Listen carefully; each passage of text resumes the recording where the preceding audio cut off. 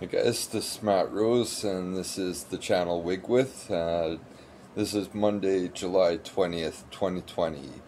Uh, so today's video is going to be the push for privatization.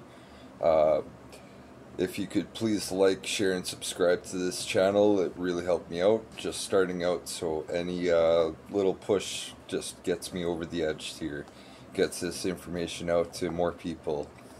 Uh, so the big thing that I'm going to go over here is Bill 30.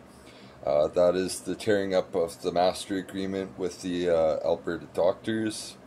It removes the right to arbitration and it overrides the funding scheme. So a recent survey by the Alberta Medical Association found there is going to be a massive exodus of doctors over this. 42% of doctors are already saying they're planning on leaving 87% said that they would have to make changes to their practice in order to keep practicing uh, in Alberta. So in my other video I did show how uh, David Shepherd had said 55 doctors have not renewed their license, uh, 32 retired, plus 12 voluntarily left registries this month or this year so that is a lot of doctors already leaving the province. We need to definitely look into uh, why Tyler Shandro thinks that he can just treat the doctors in this province like this. Because it is the rural communities, of course, that are going to suffer. They're going to hit, hit the hardest after Bill 30. Um, Tyler Shandro is trying to insist that they stay. He wrote a letter to the CPSA, the Canadian um,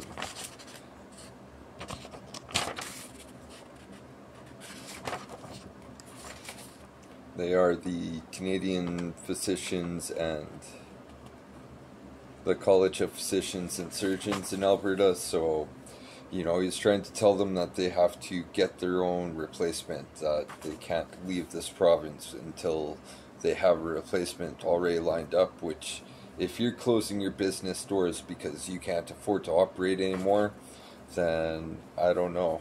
You don't exactly go and find your replacement, you pretty much go and you know try and salvage whatever amount of career you have left.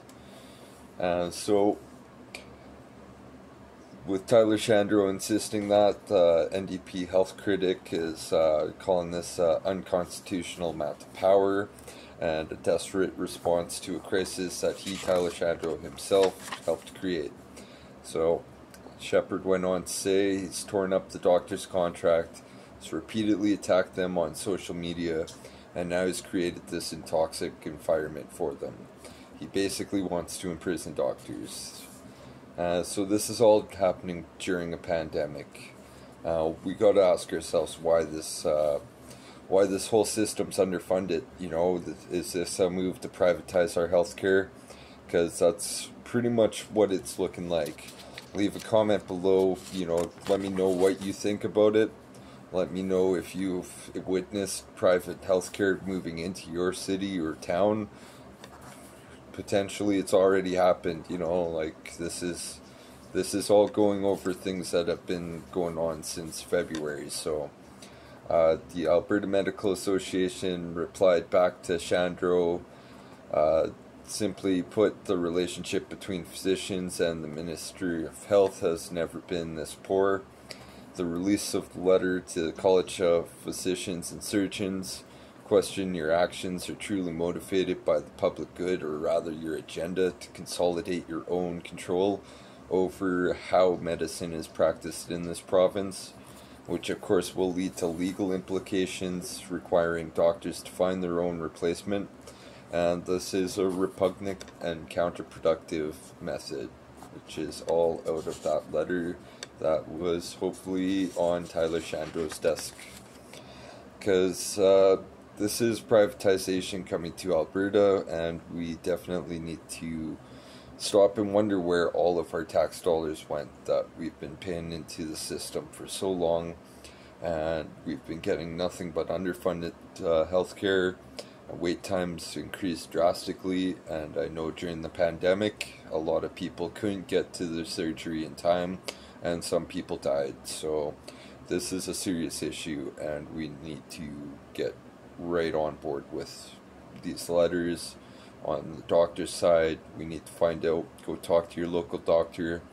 Um, ask them like what do they need because we need doctors in Alberta. We need doctors during a pandemic. You know. This has been Wigwith. Please like, share, and subscribe to my channel. And as always, have a great day. Bye now.